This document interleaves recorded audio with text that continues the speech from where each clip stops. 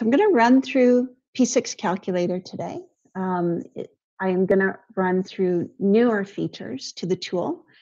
This is a tool that um, I think brings so much flexibility to P6 and then the reporting that you're doing out of P6. So so it's certainly my favorite tool of all the Emerald tools because I've used it with so many clients to give them all sorts of great functionality, save them a huge amount of time.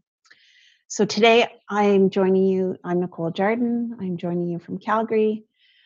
Uh, snow on the ground, but sunny, beautiful, and uh, hopefully we'll get a bit more fall weather coming our way. So let's talk about why we made P6 Calculator. So um, we've we've had programmers on our team from the beginning. Um, so 28 years of Emerald being a uh, Primavera partner, and the main reason we make any of our tools is because the clients we're working with need solutions. So we build those, and then they morph into tools when more and more of our clients want the same thing. So we've seen some common struggles. Okay, so we put all sorts of fantastic data inside of P6, and then sometimes it's hard to get it where you want it to make your life easy. So, for example, things can be sitting down at the activity level or resource level, but you can't get at them easily at the project level. Okay, so I'm going to show you the sort of part bits and pieces of functionality that we've put into our calculator. And what I'm going to show you needs to be taken as food for thought, okay? Because I show you one idea doesn't mean it's the only thing the tool can do, because it's very flexible. It's easy for our group to add function, similar functionality and build on it. Okay, so that's something to keep in mind as we run through some examples.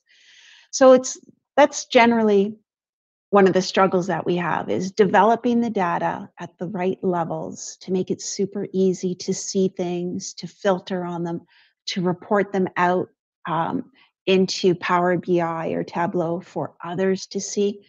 That's really a big challenge. Um, and if you want to have data from other systems, like um, an asset management system or an ERP like JD Edwards or SAP, or Fusion, etc. There's so many, and we've integrated to all of them, so many of them. Uh, we use Zoho here, so we've integrated even to Zoho projects. So the idea is when you get that data, you want to be able to use it well. So that's another challenge that we face for sure. So the that's why we built calculator. And some of the features I'm going to show you today go even beyond that. So I'm going to show you um, reading resources to make an activity code, to make a project tag. Okay.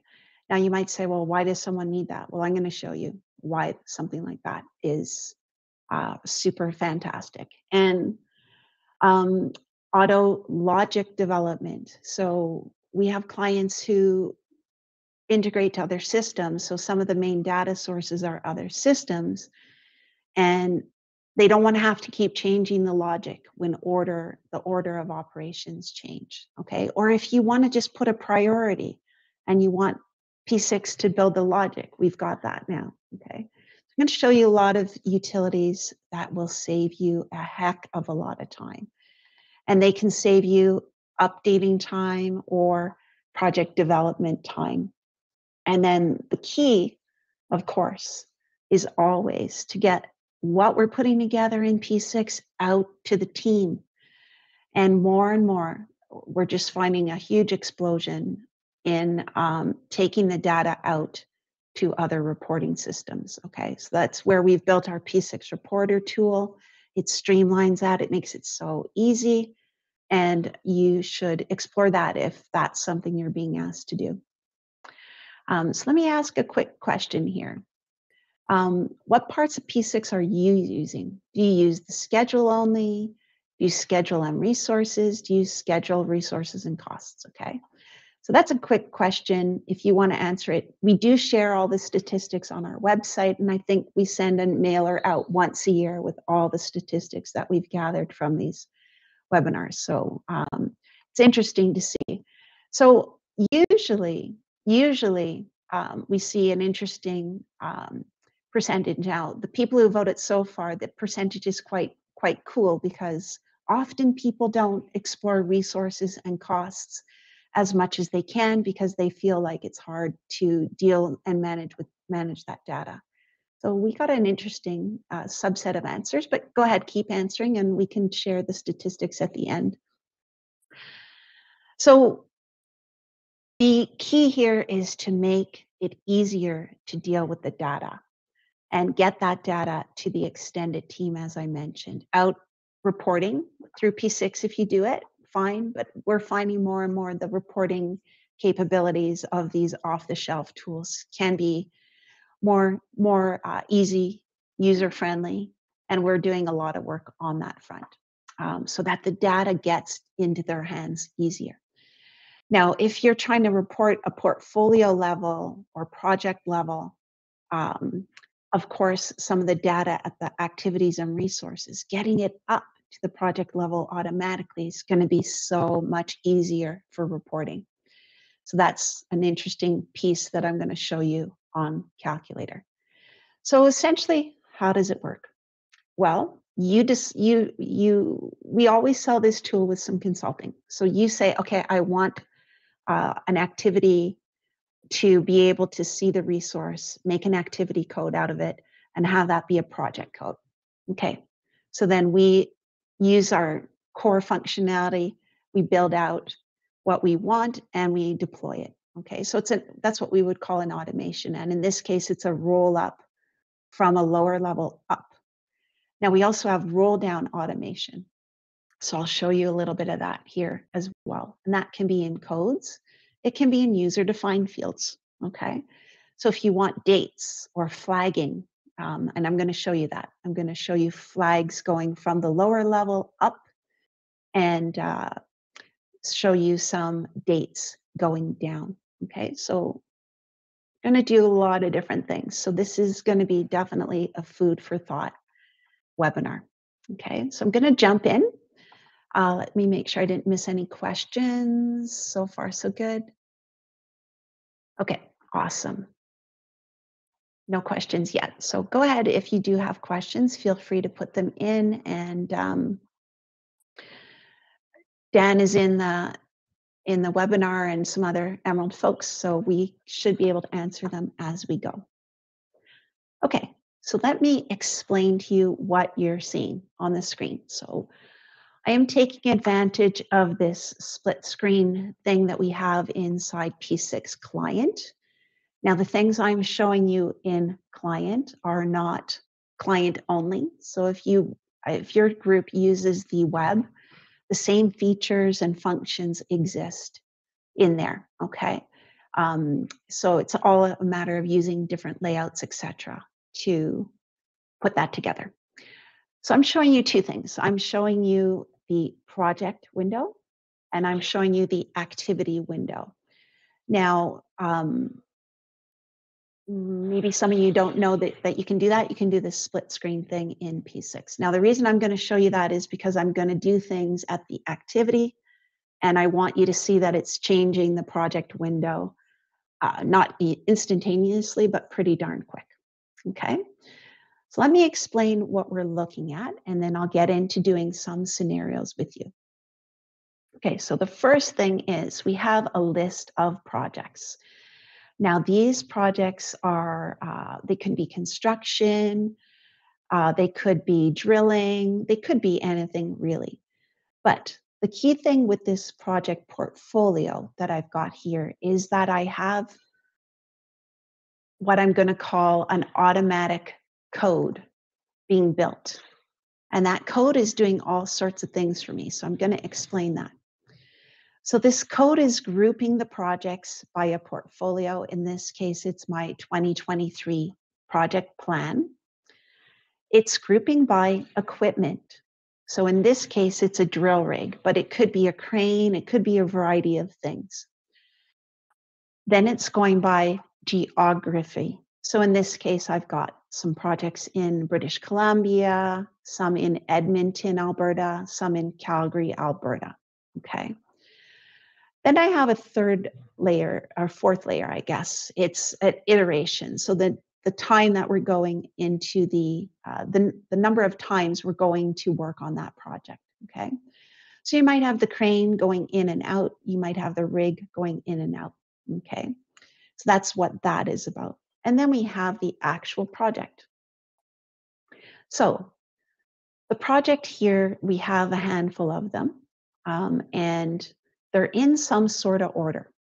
Now, if you've ever worked on a project where you have huge long lists of equipment and you need to be scrolling up and down and um, trying to find the equipment that you're looking for, you know how frustrating the ordering can be when you've got something like that. So this utility that I'm going to show you as part of P6 Calculator is actually going to rearrange the order of the code automatically, which again, if you've used P6 with big lists, you know that can be frustrating because you want the order to be chronological, perhaps. You don't just want it to be alphabetical.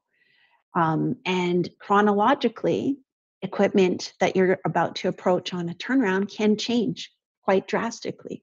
So this thing is awesome because it's going to change it for me automatically. Okay, so I'm going to show that to you. I just wanted you to first get the idea of what we're dealing with here.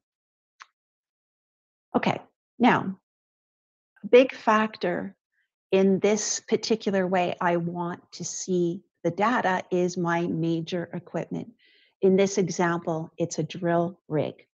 So you can see here, I'm showing you rig one, and then the projects rig one is working on.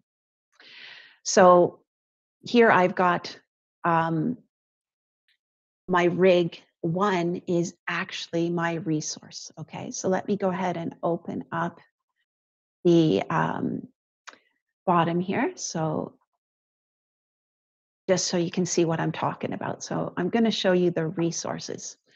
So you can see right here that I've got uh, the rig is mobilizing equipment and it's doing the construction okay, this rig. So it could be a crane, it could be a major bulldozer, whatever major equipment you're interested in monitoring and managing, okay? So in this case, that's what I've got here. I've got the rig. Now, these are the two basic P6 fields that you're used to working with. Now, the field that we've added with P6 Calculator is two. We've got two fields just to show you how this works. So I've got a field that can be a code. Okay, so here's an example of the code. And the code is going to be built dynamically. I don't have to pre-build it. So P6 calculator is going to add a new one if it needs to. Okay, so that's another thing. It takes away that management and maintenance. So that's awesome. So I'm just showing you that we can uh, use codes and we can also have the code make a user defined field. So whatever makes sense in your business would be the way we'd do it. Okay, now what I thought I would do as an example is I'm going to just open a few projects. Okay, so I've got them all open, but I'm going to just open a few projects. And what I'm going to do is I'm going to reassign the um, rig one to rig two. Okay. Now, in doing that, the calculator is going to rearrange everything that I'm seeing on the um, project window. Okay. So one of the things it's doing is it's going to actually rearrange this field at the project level automatically. Okay. So let me go ahead and get that started. And then uh, I'll show you, whoops, wrong place. That's the one thing with split screen. Let me just get that off of there so we can see all of them. Let me go over here. That's what I wanted to do. And let me turn that one off. And then I'm going to assign, reassign all of the rigs from rig one to rig two. Now, this is a feature that you may know about. You may use it. Uh, if not, maybe I'm going to show you a new trick. So there's this little swap utility. So I'm going to swap from rig one and I'm going to swap it for rig two. Okay. So what this is going to do is it's going to switch uh, all of them. Okay, that's going to take a second. It's, so it's switch. It goes through every single activity that has rig one and it switches it from rig one to rig two. Okay. So then I just save that to the database and I can close this window. And then uh, it's going to start doing its magic. Okay. And what it's going to take a minute or two. That depends on a variety of things on how fast this is going to be. Okay. And I'm going to move this over here because we'll start to see that uh, it's going to have to say, hey, we're not sure of the order here in a minute as it starts to switch, switch these over. Okay, um, now we have a lot of calculator utilities running on this database, so it might take a second. So what it's going to do is it's going to go through and say, hey, you switched the key resource, and we have a tag here. It's the resource that's a, uh, in this case, equipment. That's the one we're interested in.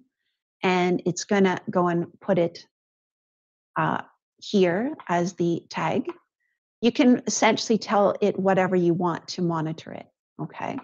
So we could monitor the primary resource if that's the one that's important to you.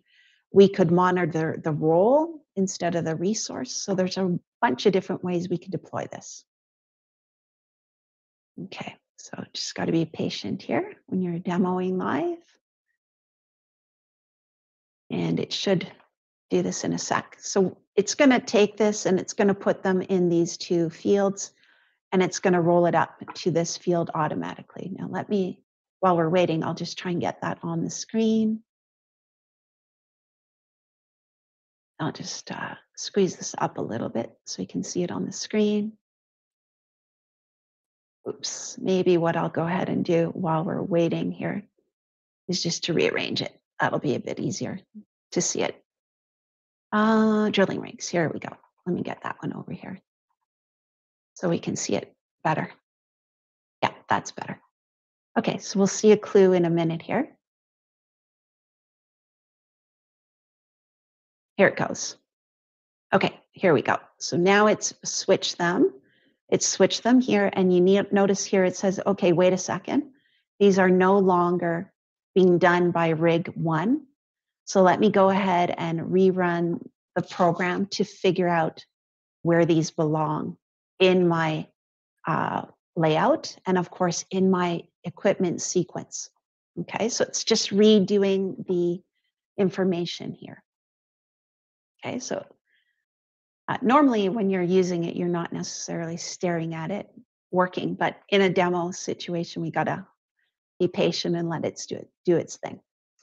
So it's rearranging this code. So it's figuring out, okay, what is the um, scenario, the iteration. Sorry, I have these in the wrong order. So the scenario, the rig, the location, the iteration, it's doing all that legwork for me. And it's looking at this date.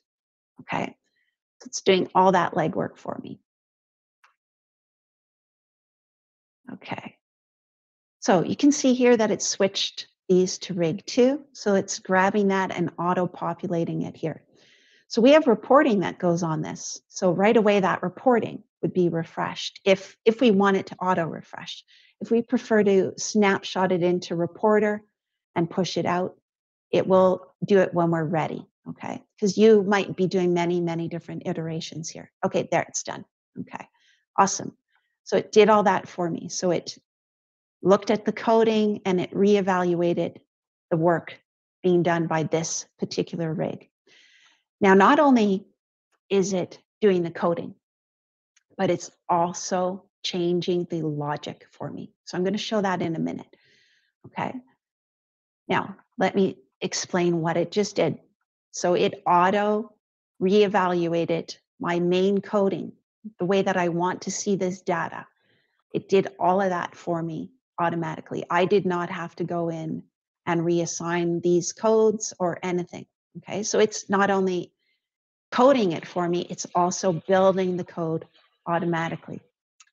Okay, so if I added a new project, okay, so if I added a new project and I'm just gonna copy and paste this project, this code is gonna be rebuilding itself automatically, okay? Um, so let me go ahead and do that. That might take a second.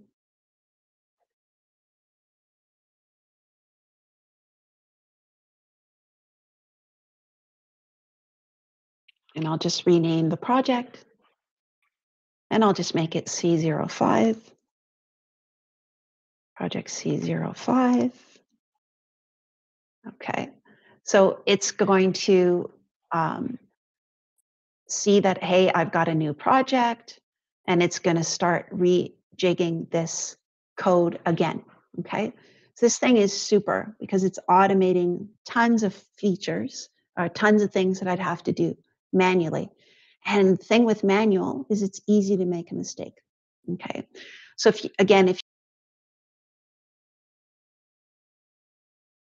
you've worked on large large portfolios with hundreds and thousands of wells and you do many many scenarios this stuff can just take your take so much of your time and uh, can be pretty demoralizing if you've done turnarounds with huge numbers of equipments and things like that this would apply there too okay so i'm just showing you with a project level reordering but the same sort of thing be done inside the activities Okay, so it's working away and it's going to add this project five to the list.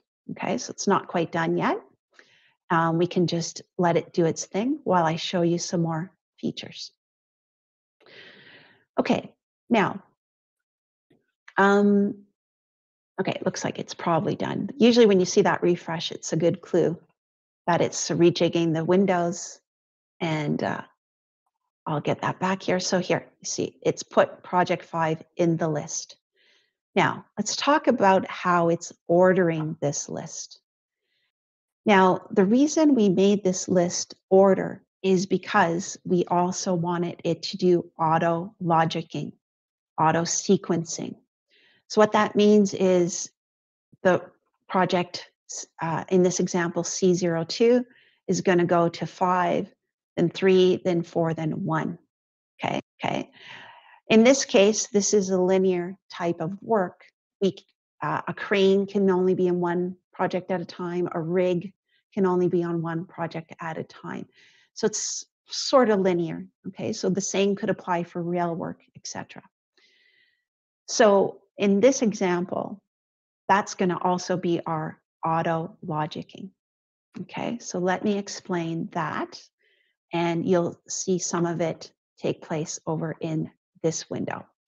Now to see the auto logicking, I'm going to switch to a different layout because it'll just look a bit easier for you to uh, follow. Um, so let me switch that layout and then I'm going to go ahead and uh, kind of show you what's going on. Okay, so in this case, I've opened the rigs. Uh, so it's, it's pretty much the same order as what I've got here in the project window. So it's showing it chronologically. Now let me just give you a bit more room here on the Gantt chart to, to sort of see what I'm talking about there. Okay, so project two is then going to five, and then it's going to three um, and four. So that's the uh, and then one. So that's the chronological order. And the key thing here is the work at the job site. So the equipment, the construction, it could be drilling, could be roadworks. Okay. So that's the key part that is logicking itself up automatically. This upfront work with AFEs, etc., they may or may not need to butt up against the construction. So they could be done pre. Okay.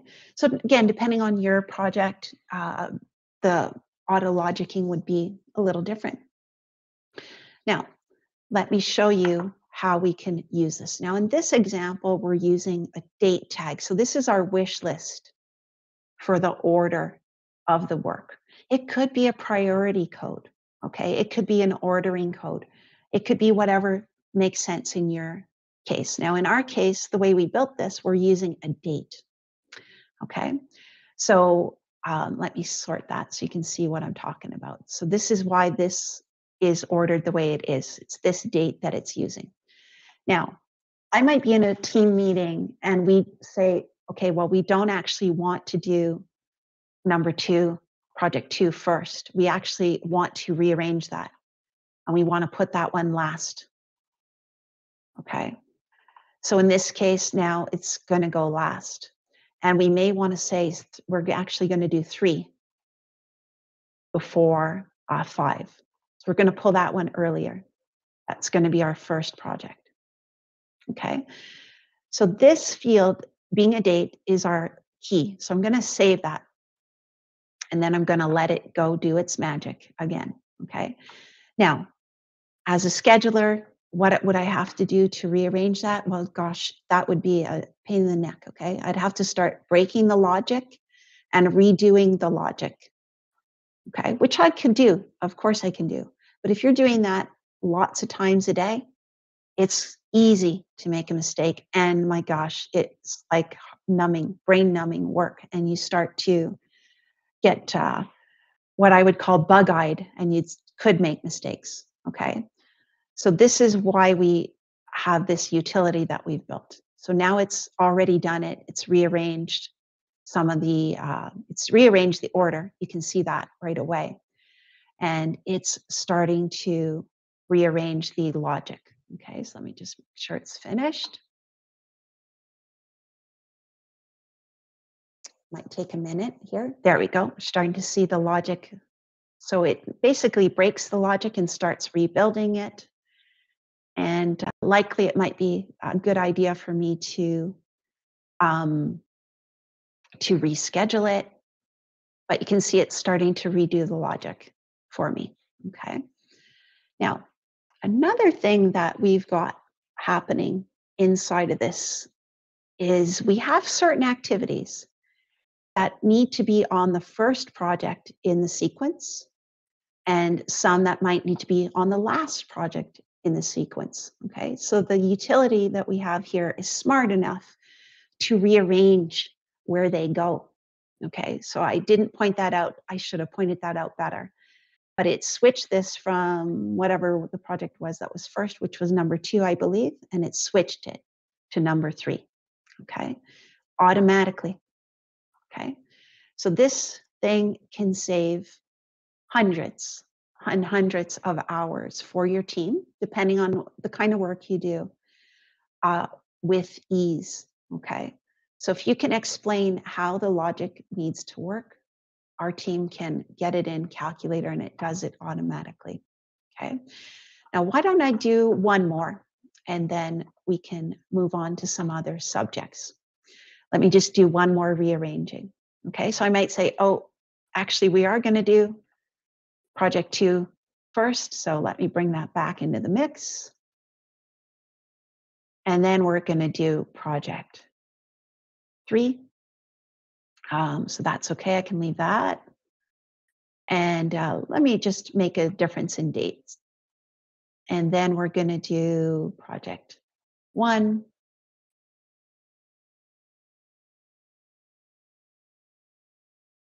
And uh, project five, we're gonna put it after project one.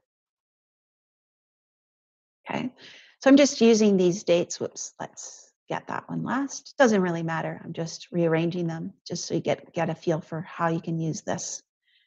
And I'll save it. And that kicks off the rearranging. Okay, so this is the project, act, sorry, this is the activity that needs to go first. So you should see that switch to the first project being project two. Okay, so I'm going to save it and I'll start refreshing. And we, oh, looks like it's working. Okay, not quite there yet, no problem. We'll just wait a second. So it's, see it removed all the logic and it's gonna redo it. And uh, the clue is when it starts to rearrange the order. So this is this is wonderful. Again, if you've been in big turnarounds or major commissioning and startup projects where you have so much equipment and the order is changing and you want to give the team a nice Gantt, it's not easy without doing it very manually. Okay, so here we go. So now you see it switched project two to be first. It moved that key lead in activity and it's going to start rebuilding the logic.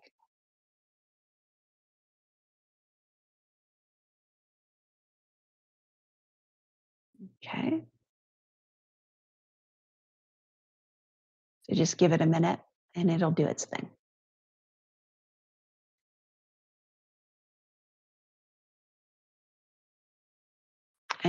And let me just see where it's at. Yeah, so it's got this one going first. This one, that's one hasn't moved yet. So just give it a minute.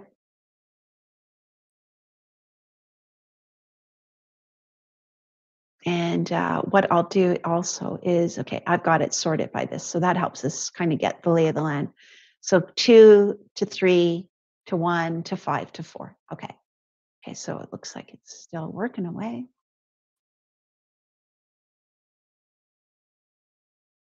And let me just see if I, come on, relationship lines. Let's just see how it's doing.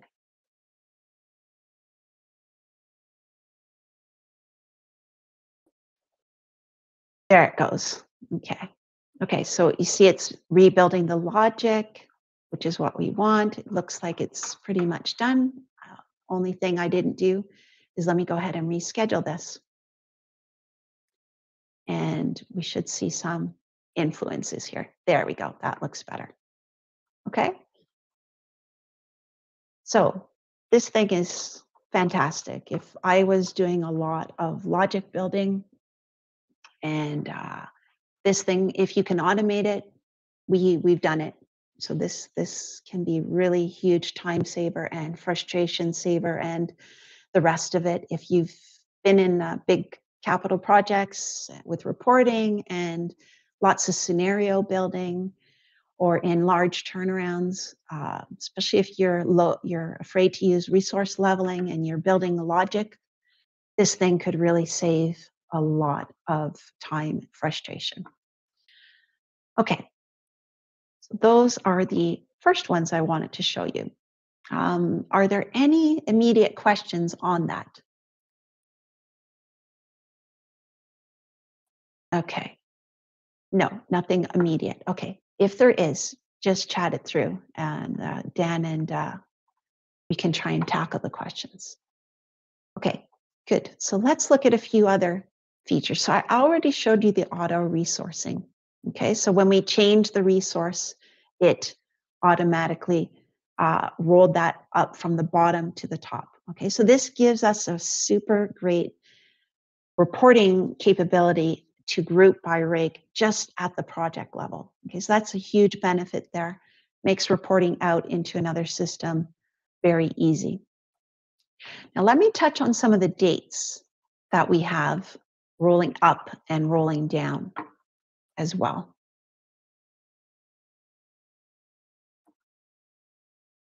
Okay, so let me look at some dates. So we have dates and dates are generally down, of course, on the uh, activities and then getting them easily usable at the project is not always so easy. Okay, so let me just squeeze this up a little bit and uh, get some of these dates on the screen. So we have the ability to do what we call a roll down and also a roll up. Okay, so we have both. Now, let me explain what that means. So, roll down. So, rolling down is taking something from the upper level and putting it to a lower level. So, in this case, I'm taking something at the project level and I'm showing it as a field on the lower level. Now, you can do that already with codes. You can't necessarily do that with user defined fields. And you can't necessarily do that to all the layers that you want. Okay, now in the later versions of P6, Oracle has made some improvements on getting the data to display at different levels. So that's good, but it's not necessarily in the exact same manner as what we've got here. So in this case, we're showing those values, not only showing them, but they're actually going down onto the activity. Okay, it's not just a visual, it's actually putting it on the activity. So you can see they're marrying up to what we've got there. Now, again, that can be super handy if we want to do a comparison, okay, between uh, different dates here. Now, the other thing that we're doing is there's a date that we want, and it's this date here, a drilling date. So we're actually filtering on the a drilling date, on the drilling code, I should say, and we're actually trying to see the earliest date that uh, is available. And it's creating that date, it's reading the data and creating the date. And after it reads the data, uh, filtered data, creates the date, it then puts it up here on the uh, project level. Again, if I want to do a comparison or if I want to filter on a midpoint of the project, this is fantastic. Okay, so you might have an in service date if you're in electrical work. You might have an in service date. We might have an in production date. We might have commissioning complete. There's a bunch of different key dates that you might want to monitor in your project activities and get it up on the project level so you can filter on it. Okay, so we do this, we use this one a lot with different clients. Okay, now in this case, we're running a filter on particular code. Okay, so it could be the earliest date on a particular code, it could be the last date on a particular code, it could be a particular activity that we're interested in. Okay, um, now that could be by the activity ID, it could be by a code. There's a variety of ways we can do this. Okay, so we've done these many, many times for clients and they work super fantastic. Now, the next thing that we usually add on to filtering uh, with dates, roll ups, roll downs, is we usually add flagging. Okay, so let me go to the next layout and talk about flagging. Okay, so I've got a bunch of great things that we can do with flagging. And if any of you have our P6QA tool, you know that we use flagging in that in that tool a lot. Okay, so let me just fix this layout um, and get a little bit of the extra stuff off the screen that we don't need to look at for this particular example. And just make it a little easier to see. I can get rid of that. Okay, awesome. Okay, good. So this is a little bit easier to see what I want to explain. Okay, so in this example, let me just show you the Gantt. So we have our current in-service date or the date we're going to deliver on what we committed to. But the team also wants to track um, two other key dates. So, our scenario, our last scenario that we agreed as a team that we were going to deliver, okay, and the budgeted date. So, the date when we snapshotted our budget, what was the date? Okay, now there's a few different ways you might want to do this. You might want to do this just as a baseline, which is fine. But we have lots of clients who actually want to see those dates right on the screen, as in this example, uh, a milestone. Okay, so that they can see it, they can report on it. So it's a bit more tangible for them. Okay, so there's lots of different ways to do this. So in this example, we're, we've got them on the screen. Okay, now we can see visually that we've got a mismatch. Okay, so in this case, we're delivering early, which is fantastic, maybe. In this case, we're delivering late, okay, which is a problem. So we want to be able to see those much more readily, okay? Now, not only do I want to see them, because I can see them here in this uh, visual. But I also want to know, okay, well, how bad is it, right? Because I don't want to have to try and count how many months, etc. Okay. Now, if um, if you have a cash flow on these, okay, so that think of this this way: if you have a cash or dollar amount, it could be a revenue amount, it could be a cost amount. You can start graphing off of these. Okay, so you can do histograms and things like that. So these can be super, super helpful, especially if you're pushing it out into other systems where you can do different graphing. Okay, so keep those ideas in mind. Now, what I want to show you here, and I'll just uh, I'll just give a bit more room here to the table, just so you can see it, is we've calculated what we call the variance between these dates. So I have that in-service date and I have my scenario one. I have that in-service date and I have my budget uh, milestone. So not only am I flagging these, but I'm also giving you the variance. Okay, so this is something we've got in not only in our calculator tool, we take advantage of that function in our CAPS tool, we take advantage of that function in our P6QA tool. Okay. So that way we're using a consistent approach across all the tools, plus these things can be reported on out into P6 Reporter. Okay. So look, if you haven't explored some of those ideas, definitely join us for those other webinars. So I do have a QA one this evening. Um, and we've got P6 Reporter probably coming up in November as well. Okay, so what do we do with that data? Well, we bring those data points out to the project level, okay? That way it's very, very easy to see them. You don't have to open all the projects and dig deep into the de details. We are bringing them with the roll-up capability of Calculator up to the project level, okay? So now I can see very quickly and I can create a dashboard up out in Power BI or Tableau or business objects, et cetera, et cetera, et cetera. There's so many reporting tools we've worked with. Via the P6 Reporter tool, we can get those out to um, uh, to the other systems. Okay. Now, in this example, I can see that I'm also missing a few flags. So this is letting me know I'm missing an activity here and uh, so it can't monitor it. Okay, so that might just be that I made a mistake in building this out. It could also be that this project was not included in the budget. Okay, so there could be a few re reasons why that's missing.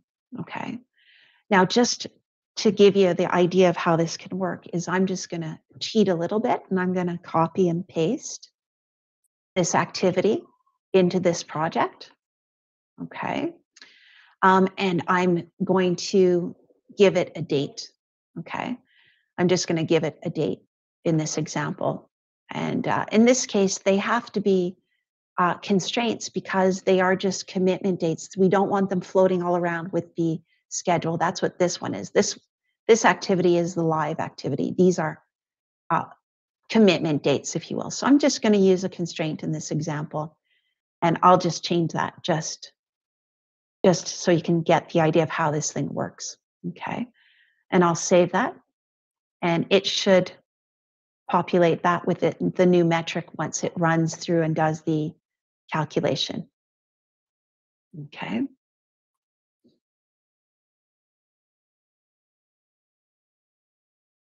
Okay, so that could take a minute and it'll run through and do its thing.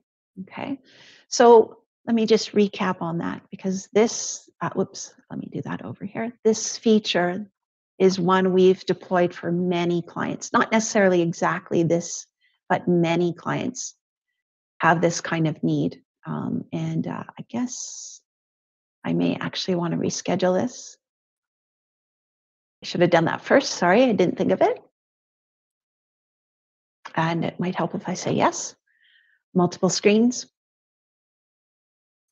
and uh, that will probably help get it to do its thing. Yeah, so not only are we taking advantage of um, the visual here, but also we're getting a calculation, a variance calculation, and we're getting some flagging. So we've got all the different facets here. And then now we should see the effect. Here we go, right there, okay? So this, these sort of features, um, as I mentioned, we've deployed for many clients in many different industries, electrical, uh, mining. Um, this is a rig example, but certainly for turnarounds, large construction projects, this sort of stuff can be super handy. And automating it is not that difficult. Yes, there's a bit of a price tag, but could it's probably one or two hours in many cases and maybe up to 8 hours for something much more complicated. But 8 hours of consulting that could save you hundreds of hours in a year. I think these sort of things are super fantastic, well worth it. Takes a lot of stress, frustration away when you're on a project and when you're trying to manage a portfolio, especially a portfolio with a lot of different scenarios, okay, where things are highly dynamic. Automating these things can make a lot of sense. Okay, one last one, a very quick little one that can be super handy too. And then we'll wrap up. So we also have the ability to do a lot of things with calendars. Now, in this example, I'm going to do um, something with calendars, and I think I'm going to open these projects up. And I'm going to uh, switch the layout for my calendar layout. So we have clients with lots of uh, calendar requirements. Um, now, the two I'm going to touch on are uh, weather, so road bans, weather timeframes that you're you're not allowed to work, where you have special non-work times, and wildlife. Okay, so we have wildlife restrictions. Many, many different kinds of uh, clients have those sorts of things. So you need special calendars in those cases built to help you address non-work times usually. Okay, so let me just give you the lay of the land of some ideas here. So if there's a point in time where we have wildlife restrictions, okay, so we might not be allowed to work at certain periods in, uh, so in this example, I've turned off the work from October, November, December, so I have three month non-work window, okay? So we can use automations to say that this project actually does have a wildlife restriction. Okay, now hmm. it may not be all the activities. Okay, so some of the activities might have a wildlife restriction. Might some might have a weather restriction. So like moving equipment in and out during road bans, you don't want to have your schedule showing that. Okay, so these are just, again, ideas, food for thought. The idea is that I'm going to say, I do actually have a wildlife restriction on this project. Okay, now what this is going to do, so I'm going to save this. Okay, and I can do as many as I want. Okay, I might have two of them that we have a wildlife restriction just by their geographical location, and the others don't which is fine. So then I save that and I tell it to go in and switch these calendars. Now it's going to switch them based on this, this code that I have here. Okay, so we'll just give it a minute. It's got to do its magic and do that work for me. Okay, so this is a simple example. We have another one that I, I will probably do in our next calendar or sorry, calculator webinar for uh, intersecting calendars. So if any of you use SureTrak years ago, we used to have a meeting type activity, which was a calendar intersection type utility. Okay, so that uh, is essentially what our intersect calendar does. Okay, so this can be fantastic when you've got complex job access requirements. Okay, so I'll do more on calendars in our next webinar as well. Uh, this is just taking a minute. Sorry, guys. Just depends on the timing of the utility that's monitoring it. There it goes. Okay, so it switched some of these to wildlife restrictions in there. And then, of course, what I would want to do is uh, reschedule and see the impact. So it looks like this thing's been pushed. This one's been pushed. Okay. So then you can reschedule and see the, I'll oh, have to say yes, the impacts of that. Okay. So these sorts of automations can be super fantastic. And this is just an example. Food for thought. Everything I showed you, hopefully, is just food for thought. Okay, are there any questions that would be useful for me to stay in this software? I don't see any obvious ones. Okay, so hopefully that means you're thinking hard and you're seeing things that are interesting, or hopefully it doesn't mean you don't understand what I was showing. Um, okay, so let's wrap up. And again, of course, if you have any questions, throw them at us and we'll tackle them as we roll uh, wrap up here. So P6 calculator has a bunch of odds and ends that we've got in it. Okay, so I showed you a few of the automations today with auto coding from the resource. That coding was automatically done. I didn't have to code it, the calculator did it. Not only did it code it, it sequenced it. So that makes my layouts much easier to manage. Uh, it sequenced it. It also allowed me to resync, resequence using just a pick list. Okay, in my date case, it was a date, but it could be a priority and it would reorder by priority. I showed you that we had dates that were automatically rolling up with flagging and variance calculations. Okay. Now, all of this, of course, is so that we can make sure we're doing better on our project. We're getting the right people to the right place at the right time. That's the whole objective. Okay. So, the key thing I think, hopefully, you saw, and our users have given us the feedback, it significantly reduces manual work. So you can do more work or as much work with less people. And even if you're not getting less people, a lot less frustration. Okay.